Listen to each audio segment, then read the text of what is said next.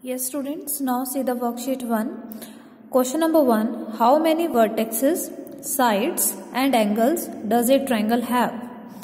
ठीक है यहाँ पे आपसे पूछा जा रहा है कि जो ट्रायंगल है उसमें कितने वर्टेक्स होते हैं कितनी साइड्स होती हैं और कितने एंगल्स होते हैं अभी अभी हमने यहाँ पे पढ़ा कि it has three vertex three side and three angles तो यहाँ पे हम लिखेंगे three comma three comma three ठीक है सब कुछ थ्री थ्री ही है यहाँ पे okay see question number two draw a triangle name its vertex sides and angles तो कुछ इस तरह का ट्रायंगल बनेगा, जिसकी वर्टेक्स का आपने क्या देना है? नेम देना है। नेम मीन्स कि आप कुछ भी अल्फ़ाबेट लिख देंगे।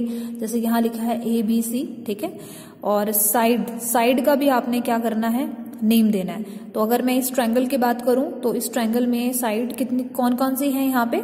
ये देखिए ए बी है बी सी और सी ए ए बी ये बी पे फिनिश हो रहा है ना? ए बी तो बी से ही स्टार्ट करेंगे. बी सी सी पे फिनिश हुआ देन सी ए ठीक है? कंटिन्यूशन में आपने बोलना है ए बी ये एक साइड हो गई. B C second side and C A third side right और एंगल यहाँ पे बनता है angle A angle B angle C या फिर आप इस तरह से भी नेम दे सकते हैं। तो इस केस में आपको मिडल में वो वाला अल्फ़ाबेट लिखना होगा जो आप एंगल बताना चाह रहे हैं। ठीक है, जिस एंगल को आप एक्सप्लेन कर रहे हैं, बता रहे हैं, जिसका नेम दे रहे हैं आप। Right now see the question number three you are given some triangles name its vertexes sides and angles तो यहाँ पे ट्रायंगल गिवन है, और इस ट्रायंगल में आपने यहाँ पे इस कॉलम में लिखना है इसके वर्टेक्स यहाँ पे साइड और यहाँ पे एंगल्स तो वर्टेक्स कौन से हैं यहाँ पे इस ट्रायंगल के? This is P Q R तो कॉमा कॉमा से सेपरेट करके आपने तीनों के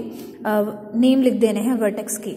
ठीक है? क्यू पी आर या फिर आप इसको पी आर क्यू भी लिख सकते हैं डजेंट मैटर आपने तीनों के तीनों यहाँ पे लिखने हैं और इसको सेपरेट करना है कॉमा के साथ। ठीक है? साइड्स यहाँ पे कौन सी बनेगी?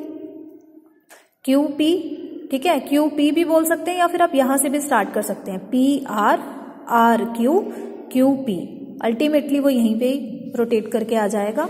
साइड इसकी थ्री हैं और एंगल्स कौन से हैं? एंगल पी है, एंगल क्यू और एंगल आर इसी तरह से आपके क्वेश्चन जो सेकंड है, ये वाला और ये थर्ड वाला सेम एज इट इज़ होंगे। Clear now see the question number four count and write how many triangles are there in each figure आपने काउंट करना है और लिखना है कि कितने ट्रायंगल्स हैं ये हर एक फिगर में। तो यहाँ पे अगर मैं इसको ध्यान से ऑब्ज़र्व करूँ, एक ये है यहाँ पे ट्रायंगल एक ये वाला ट्रायंगल बनता है वन टू और ये पूरा कंप्लीट बन रहा है यहाँ पे थ्री ठीक है? और यहाँ पे अगर हम काउंट करेंगे ये पूरा कंप्लीट है, ठीक है? ये आउटर वाला पूरा बड़े वाला ट्रायंगल बन रहा है one this is two three four and this is five तो फाइव ही यहाँ पे बनेंगे this is one two three four five ठीक है? दोबारा से देखिए।